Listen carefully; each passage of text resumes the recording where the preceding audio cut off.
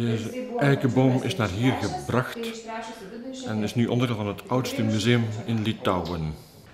Eikenboom helemaal uitgehold om iets in te kunnen doen. Het lijkt wel zoals de kabouters in paddenstoelen begonnen. Dat hebben we nog een tweede keer gedaan. Een eikenboom uitgehold. We had a great nobleman, Denisas Poška, who took this oak from his hill Vishnakalnas. It, uh, it didn't grow here, mhm. it grew on a great hill about one and a half kilometers away from this mhm. place. So he cut it down and brought here and built here and made for himself as a working cabinet. This was his house. You uh-huh. can see the foundation of the house.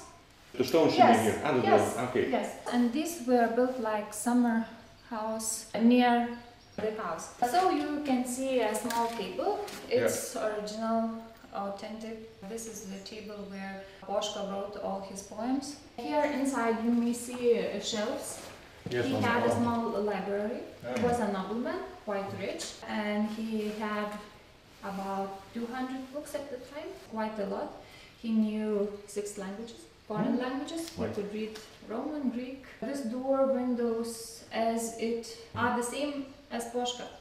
But there are some joints in between. Is that the the tree was first in pieces and then put together? or- No, it was the whole tree, but when time passed, this um, bank began to fall down. This is the river. Ah, yeah. That's called Bella. Mhm. So it uh, flows as it flew at the time when Poška lived here, made that uh, nice, uh, natural, uh, how to say, Uh, yeah, a, a, turn, a meander. Yes, or what- yes. yeah. there.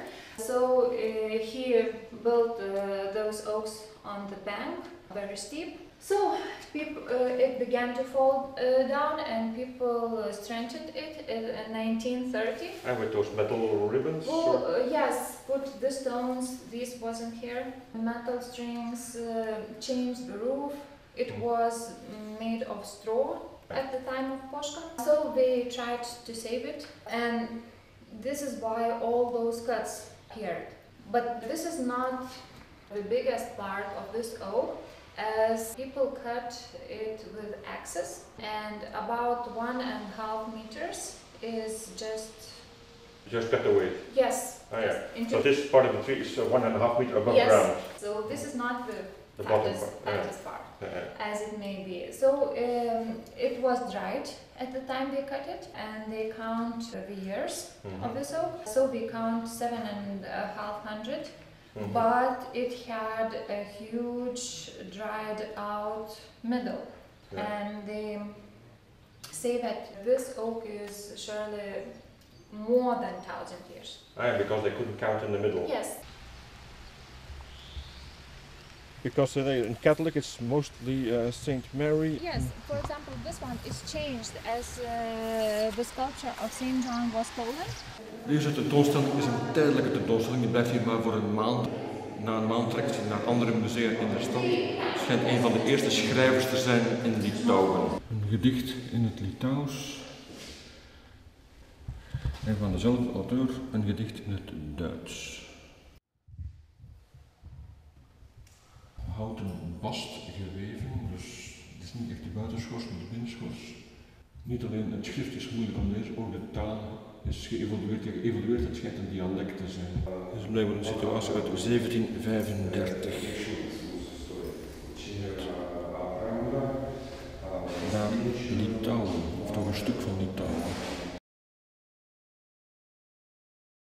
Het watermolenwiel staat nog buiten, maar er is geen watertoevoer en binnen is ook alles afgebroken.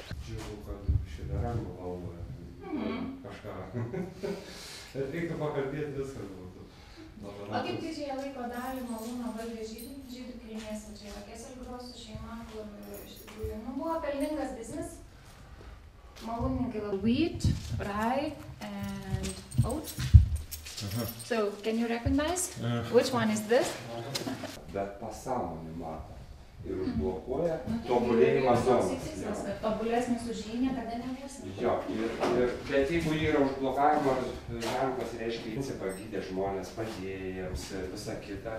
Ir Nu, ta- gal žmonėm padėjo jų pačių įsitikinimas, o ne Galbūt, jisai. bet e, ta prasme bus gyva asmenybė, tikra asmenybė, ar sakykime, nu nebent tėvai išprotėję, tada jeigu mano vaiką prikaltų, aš tikrai čia nesidžiaugčiau ir džiuginu.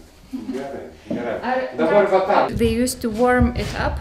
Žiemą, tarkim, kai būdavo šalta, tiesiog primesdavo kaip į lygintuvą, primesdavo anglių, taip ir čia, arba akmenukų įkaitusių, tiesiog pavarinė ir kai medis pritraukia šilumos, tai žiemą apie vieną valandą išeidavo su šiltais batais. Tikrai reiktų, reiktų gal kažkur tai vėl pasidomėti. Mhm. Bet čia tai geras, čia man patiko. Jo, čia, e, kaip sakyti, e, žmogaus. e, Kopėtėlės kuo didesnės, o iš pavyzdžiui, šitas yra 18